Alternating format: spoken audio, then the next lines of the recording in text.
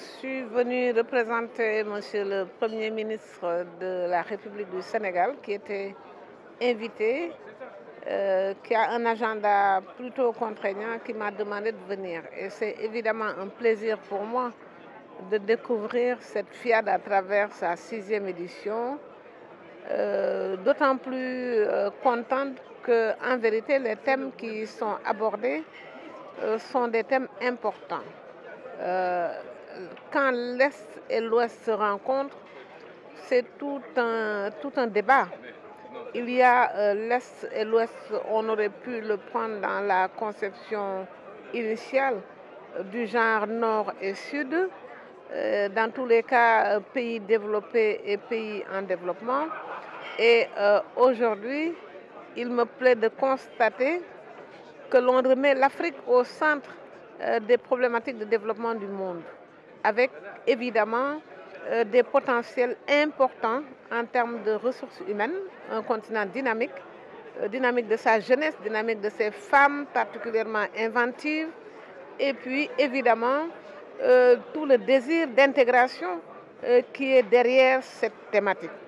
Intégration entre l'ouest et l'est du continent et une intégration qui nous interpelle d'autant plus qu'il s'agit euh, de rompre les barrières.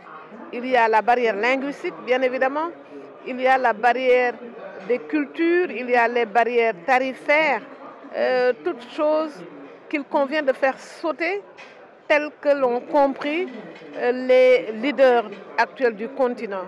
Je voudrais citer parmi cela euh, son Excellence Monsieur le Président Macky Sall qui vient d'être réélu sur la base d'un bilan euh, qui parle, mais aussi de Sa Majesté euh, le roi euh, Mohamed VI et euh, évidemment euh, l'instrument de cette expansion, de ce dynamisme que constitue Attijari Wafa Bank euh, nous inspire pour tout ce qui concerne les réformes des systèmes bancaires, les réformes et, euh, disons, euh, les, projets d'investissement euh, au niveau du continent africain, les dynamiques commerciales qu'il nous faut réinventer euh, pour permettre euh, que tous les acteurs se hissent au niveau des ambitions politiques de ceux qui nous dirigent aujourd'hui.